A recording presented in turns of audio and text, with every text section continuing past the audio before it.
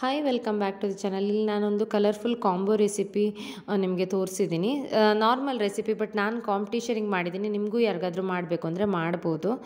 So ಇಲ್ಲಿ carrot beetroot ನೇರಳೆ cabbage ಹಾಗೆ ಪಾಲಕ್ ಸೊಪ್ಪನ್ನು ಪೇಸ್ಟ್ ಮಾಡಿಕೊಂಡು ಇಡ್ತಾ ಇದ್ದೀನಿ ಫಸ್ಟಿಗೆ ಸ್ವಲ್ಪ ನೀರು ಹಾಕಿ ಪೇಸ್ಟ್ ಮಾಡ್ಕೊಂಡು ಇಡಿ ಇಡಿ. ಕ್ಯಾಬೇಜ್ ಪರ್ಪಲ್ ಕಲರ್ ಇದು ಬರುತ್ತೆ, ನೀವು ನೋಡಿರ್ತೀರ. ಸೊ ಅದನ್ನು ಎಲ್ಲನೂ ಪೇಸ್ಟ್ ಮಾಡಿ ಇಟ್ಕೊಳ್ಳಿ, ಎಲ್ಲನೂ. ಇದು ನಾನೊಂದು ಕಾಂಪಿಟೇಷನ್ಗೆ ಮಾಡಿರೋದು. ಹಾಗಾಗಿ ಇನ್ನೂ ಯಾರಾದರೂ ಕಾಂಪಿಟೇಷನ್ಗೆ ಏನಾದಕ್ಕಾದರೂ ಟ್ರೈ ಮಾಡೋದಾದ್ರೆ ಅವ್ರಿಗೂ ಈಸಿ ಆಗುತ್ತೆ. ಕಲರ್ಫುಲ್ ಮಲ್ಟಿ ಕಲರ್ ರೆಸಿಪಿ ಬೇಕಿತ್ತು ಸೊ ಎಲ್ಲೋ ಕಲರಿಗೆ ಅರಿಶಿನ ಪುಡಿ ಯೂಸ್ ಮಾಡ್ತಾ ಇದ್ದೀನಿ.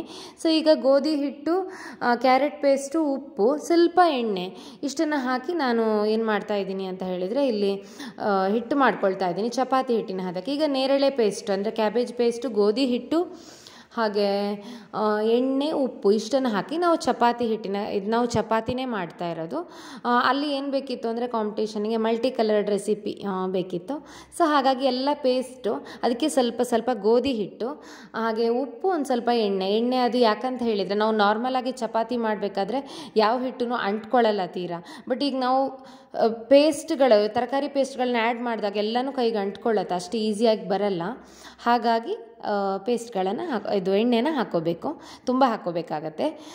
ನನಗೆ ಮತ್ತು ಕಲರ್ ಪುಡಿ ಎಲ್ಲ ಯೂಸ್ ಮಾಡೋದಷ್ಟು ಇಷ್ಟ ಆಗಲ್ಲ ಬಿಕಾಸ್ ಯಾವಾಗಲೂ ಕಾಂಪಿಟೇಷನಲ್ಲಿ ಪಾರ್ಟಿಸಿಪೇಟ್ ಮಾಡ್ತಾ ಇರ್ತೀನಿ. ಸೊ ಡೈಲಿ ಕಲರ್ ಹುಡಿ ಹೊಟ್ಟೆಗೆ ಹೋಗ್ತಾ ಇರತ್ತೆ ಅಂತ ಹೇಳಿದರೆ something is not good for health ಅಂತ ಅನಿಸುತ್ತೆ. ಹಾಗಾಗಿ ನಾನು ಯಾವತ್ತೂ ಕಲರ್ ಹುಡಿನ ಮಾಡೋಕ್ಕೆ ಇಷ್ಟಪಡಲ್ಲ. ಸೊ ಈಗ ಲಾಸ್ಟಿಗೆ ನಾರ್ಮಲ್ ಚಪಾತಿ ಹಿಟ್ಟು ಮಾಡಿ ಎರಡು ಭಾಗ ಮಾಡ್ಕೋಬೇಕು. ಒಂದು ಬಾ, ಒಂದನ್ನು ಹಾಗೆ ಇಟ್ಕೊಳ್ಳೋದು ಬಿಳಿ ಕಲರ್ಗೆ ಇನ್ನೊಂದು ಕಲರ್ಗೆ ಟರ್ಮೆರಿಕ್ ಅಂದರೆ ಅರಿಶಿನ ಪುಡಿ ಹಾಕೋಬೇಕು. ಹಾಕ್ಕೊಂಡು ಮಾಡ್ಕೋಬೇಕು. ತುಂಬ ಜನ ಕಲರ್ ಪುಡಿ ಪ್ರಿಫರ್ ಮಾಡ್ತಾರೆ ಬಟ್ ನಾನು ಅಷ್ಟು ಸಜೆಸ್ಟ್ ಮಾಡಲ್ಲ ಅದನ್ನು. ಖಂಡಿತವಾಗ್ಲೂ ಹೆಲ್ತಿಗೆ ಒಳ್ಳೇದಲ್ಲ. ನಾವು ರೆಗ್ಯುಲರ್ ಆಗಿ ಕಾಂಪಿಟೇಷನಿಗೆ ಪಾರ್ಟಿಸಿಪೇಟ್ ಮಾಡ್ತೀವಿ ಅಥವಾ ಇನ್ನೇನಕ್ಕೋ ಮಾಡ್ತೀವಿ ಅಂದಮೇಲೆ ನಾವು ಅದನ್ನು ತರಕಾರಿಗಳಲ್ಲಿ ನೈಸರ್ಗಿಕ ಬಣ್ಣಗಳನ್ನು ಮಾತ್ರ ಯೂಸ್ ಮಾಡಿದರೆ ತುಂಬ ಒಳ್ಳೆಯದು ಸ್ವಲ್ಪ ಕೆಲಸ ಜಾಸ್ತಿ ಈ ಥರ ಮಾಡಿಕೊಂಡು. ಕಲರ್ ಹುಡಿ ಆದರೆ ಈಸಿಯಾಗಿ ಒಂದು ಚಿಟಿಕೆ ಹಾಕಿಬಿಟ್ರೆ ಬೇಗ ಆಗುತ್ತೆ. ಸೊ ಹೀಗೆ ಎಲ್ಲ ಬಣ್ಣದ ಚಪಾತಿಗಳನ್ನು ಲಟ್ಟಿಸಿ ಒಂದರ ಮೇಲೊಂದರಂತೆ ಹಾಕಿ ನೋಡಿ ಈ ಥರ ಈಗ ಯೆಲ್ಲೋ ಕಲರಿದ್ದು ಲಟ್ಟಿಸ್ಕೊತಾ ಇದ್ದೀನಿ. ಒಂದರ ಮೇಲೆ ಒಂದು ಹಾಕಿ, ಒಂದು ತಟ್ಟೆಯಲ್ಲಿ. ನೀವು ಲಟ್ಟಿಸ್ಬೇಕಾದ್ರೆ ಪುಡಿ ಹಾಕ್ಕೊಂಡು ಲಟ್ಟಿಸ್ಬೇಡಿ ಹಾಕಿದರೆ ಕಲರ್ ಸ್ವಲ್ಪ ಫೇಡ್ ಆಗುತ್ತಲ್ವ? ವೈಟ್ ವೈಟ್ ಅನಿಸುತ್ತೆ.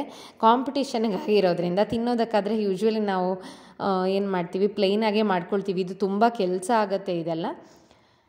ಬಟ್ ಕಲರ್ ಹುಡಿ ಹಾಕಿದರೆ ಈಸಿಯಾಗಿ ಆಗುತ್ತೆ, ಬೇಗನೆ ಆಗುತ್ತೆ. ಕಲರ್ ಹುಡಿ ಯೂಸ್ ಮಾಡಿಕೊಂಡು ನಾವು ಕಲರ್ ತರೋದಕ್ಕಿಂತ ನಾವು ನಮ್ಮ ಟ್ಯಾಲೆಂಟ್ನ ಯೂಸ್ ಮಾಡಿಕೊಂಡು ಕಲರ್ ಹುಡಿ ಯೂಸ್ ಮಾಡಿದರೆ ಯಾವುದು ಕಲರ್ ಹಾಕಿದರೂ ಆ ಬೇಕಾದ ಕಲರ್ ಬರುತ್ತೆ. ಬಟ್ ನೈಸರ್ಗಿಕ ಕಲರಿಂದ ನಾವು ಮಾಡ್ಕೊಳ್ಳೋದು ತುಂಬ ಇಂಪಾರ್ಟೆಂಟ್ ಆಗುತ್ತೆ. ಈಗ ಎಲ್ಲನೂ ಲಟ್ಟಿಸ್ಬಿಟ್ಟು ನಾನು ಒಂದರ ಮೇಲೆ ಒಂದು ಹಾಕಿದ್ದೀನಿ, ಈ ಥರ ಒಂದರ ಮೇಲೆ ಒಂದು ಹಾಕಿದ್ದೀನಿ, ಹೀಗೆ.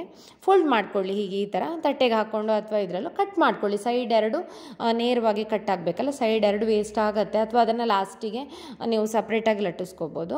ಸೊ ಈಗ ಈ ಥರ ಕಟ್ ಮಾಡ್ಕೋಬೇಕು ರೋಲ್ ಮಾಡಿಕೊಂಡು. ನೋಡಿ, ಈ ಥರ ಕಲರ್ ಬರುತ್ತೆ ರೈನ್ಬೋ ಥರ ಬರುತ್ತೆ. ರೈನ್ಬೋ ಅನ್ನೋಕ್ಕೆ ಏಳು ಕಲರ್ ಇಲ್ಲ ಇಲ್ಲಿ, ಆರೇ ಕಲರ್ ಇರೋದು. ಸೊ ಇದನ್ನು ಎಣ್ಣೆ ಹಾಕ್ಕೊಂಡು ಈಗೇನು ನಾವು ಲಟ್ಟಿಸ್ಕೋಬೇಕು. ತೀರಾ ಅಂದರೆ ತೀರಾ ಕೆಲಸ ಆಗುತ್ತೆ ಇದು, ಅಂದರೆ ಯೂಶ್ವಲಿ ಬಟ್ ಪಾರ್ಟಿಸಿಪೇಟ್ ಮಾಡಲೇಬೇಕು ಅಂತ ಒಂದು ಸ್ವಲ್ಪ ಆಸೆ ಇದ್ದಿದ್ದರಿಂದ ನನಗೆ ಇಷ್ಟೆಲ್ಲ ಮಾಡಬೇಕಾಯಿತು.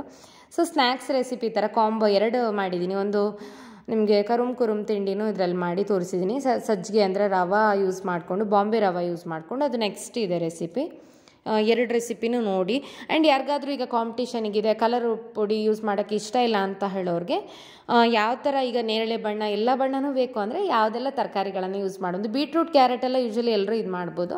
ಬಟ್ ನೇರಳೆ ಬಣ್ಣದ ಕ್ಯಾಬೇಜ್ ಸಿಗುತ್ತೆ, ಸ್ವಲ್ಪ ಕಾಸ್ಟ್ಲಿ ಅದು. ಈಗ ಇನ್ನೂ ಚಿಕ್ಕದಾಗಿ ಬರುತ್ತೆ. ಒಂದು ಕ್ಯಾ, ಸಣ್ಣ ಕ್ಯಾಬೇಜಿಗೆ ಅದಕ್ಕೆ ಫಿಫ್ಟಿ ಏಯ್ಟ್ ರುಪೀಸ್ ಏನೋ ಇತ್ತು. ಸುಮ್ಮನೆ ಇನ್ಫಾರ್ಮೇಷನ್ಗೆ ಹೇಳಿದೆ, ಅಷ್ಟೇ.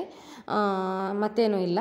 ಸ್ವಲ್ಪ ಕಾಸ್ಟ್ಲಿ ಅದು, ನೇರಳೆ ಬಣ್ಣದ ಕ್ಯಾಬೇಜ್ ಬಟ್ ಈ ಸೊಪ್ಪು ತರಕಾರಿ ತರಕಾರಿ, ಕೋಸು ಇದೆಲ್ಲ ಹೆಲ್ದಿನೇ ಆರೋಗ್ಯಕ್ಕೆ. ಸೊ ಇದನ್ನು ಎರಡು ಬದಿನೂ ಚೆನ್ನಾಗಿ ಬೇಯಿಸ್ಕೋಬೇಕು. ಸೊ ಇವಾಗ ಕಲರ್ಫುಲ್ ಚಪಾತಿ ರೆಡಿಯಾಗಿದೆ ಸೊ ಸೂಜಿ ಪಾರೆ ಅನ್ನೋದನ್ನು ಮಾಡೋಣ. ಈಗ ಬಾಂಬೆ ರವಾ ತಗೊಂಡು ಒಂದೇ ಕಪ್ಪಲ್ಲ, ನಿಮಗೆ ರವಾ ಪ್ಯಾಕೆಟ್ ತೋರಿಸಿದ್ದಷ್ಟೇ. ಎಲ್ಲನೂ ಪುಡಿ ಮಾಡಿಕೊಂಡು ಒಂದು ಸ್ವಲ್ಪ ಸಜ್ಜಿಗೆನ ಒಂದು ಪಾತ್ರೆಗೆ ಹಾಕೊಳ್ಳಿ. ಆರು ಭಾಗ ಮಾಡ್ಕೋಬೇಕು. ಸ್ವಲ್ಪ ಗರಂ ಮಸಾಲ, ಹಾಗೆ ಸ್ವಲ್ಪ ಜೀರಿಗೆ, ಗರಂ ಮಸಾಲ ಫ್ಲೇವರ್ಗೆ ಈಗ ಕ್ಯಾರೆಟ್, ಇದು, ಸಾರಿ, ಕ್ಯಾಬೇಜ್ ಪೇಸ್ಟ್ ಹಾಕ್ಕೊಳ್ತಾ ಇದ್ದೀನಿ.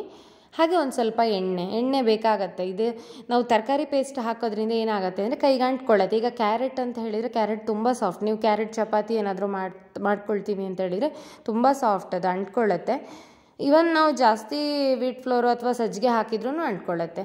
ಸೊ ಹಾಗಾಗಿ ಈ ಥರ ಮಾಡ್ಕೊಳ್ಳಿ. ಸೊ ಎಲ್ಲದಕ್ಕೂ ಇದರಲ್ಲಿ ಏನಿಲ್ಲ. ಸಜ್ಜಿಗೆ ಗರಂ ಮಸಾಲ ಜೀರಿಗೆ, ಹಾಗೆ ಎಣ್ಣೆ, ಸ್ವಲ್ಪ ತರಕಾರಿ ಪೇಸ್ಟ್ಗಳು ಯಾವುದು ಬೀಟ್ರೂಟ್ ಕ್ಯಾರೆಟ್ ಏನೇನು ಯೂಸ್ ಮಾಡ್ತೀವಿ ಅದು. ಸಜ್ಜಿಗೆನ ಮಾತ್ರ ರವಾನ ಪುಡಿ ಮಾಡ್ಕೋಬೇಕು. ಪುಡಿ ಮಾಡ್ಕೊಂಡು, ಯಾಕಂದರೆ ಹಿಟ್ಟು ಕಲಿಸ್ಕೊಳ್ಳೋಕೆ ಬರಬೇಕದು. ಸೊ ಹಾಗೆ ಎಲ್ಲ ಬಣ್ಣದಕ್ಕೂ ಸೇಮ್ ಪ್ರೊಸೀಜರ್ನ ರಿಪೀಟ್ ಮಾಡ್ಕೋಬೇಕು. ರಿಪೀಟ್ ಮಾಡಿಕೊಂಡು ಈ ಥರ ಎಣ್ಣೆ ಹಾಕಿ ಈಗ ಪಾಲಕ್ ಪೇಸ್ಟ್ ಹಾಕ್ಕೊಳ್ತಾ ಇದ್ದೀನಿ. ಸೊ ಎಲ್ಲನೂ ಅದೇ ಥರ ನಾನು ಇದು ಮಾಡ್ಕೊಂಡಿದ್ದೀನಿ. ಕೊನೆಗೆ ಸಜ್ಜಿಗೆ ಪೌಡರು, ಗರಂ ಮಸಾಲ, ಜೀರಿಗೆ, ಉಪ್ಪು ಉಪ್ಪೊಂದು ಹಾಕ್ಕೊಳ್ಳಿ ಎಲ್ಲ ಭಾಗಕ್ಕೂ ಬೇಗ ಬೇಗ, ಬೇರೆ ಬೇರೆ ಆಗಿ. ಈಗ ಸ್ವಲ್ಪ ನೀರು ಹಾಕಿ ಕಲಿಸ್ಕೋಬೇಕು. ನೀರು ಹಾಕಿ ಕಲಿಸ್ಕೊಂಡಿರೋದನ್ನು ಎರಡು ಭಾಗ ಮಾಡ್ಕೋಬೇಕು. ಒಂದು ಬಿಳಿ ಬಣ್ಣಕ್ಕಾಯಿತು ಒಂದು ಅರ್ಶ್ ಯೆಲ್ಲೋ ಕಲರ್ ಯೆಲ್ಲೋ ಕಲರ್ಗೆ ಅರ್ಶಿನ ಪುಡಿ. ಅರ್ಶಿನ ಪುಡಿ, ಅದು ಅದು ಹೆಲ್ದಿನೇ ಸೊ ಈಗ ಆರು ಕಲರ್ ಇದ್ರ ಏನು, ಇದು ರೆಡಿಯಾಗಿದೆ ಹಿಟ್ಟು ರೆಡಿಯಾಗಿದೆ ಅದಕ್ಕೆ ಎಣ್ಣೆ ಹಾಕ್ಕೊಂಡ್ಬಿಟ್ಟು ಲಟ್ಟಿಸ್ಕೋಬೇಕು ಇದನ್ನು.